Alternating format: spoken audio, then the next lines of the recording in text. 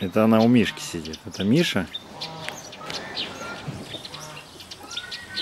Все равно, говорит, не ест.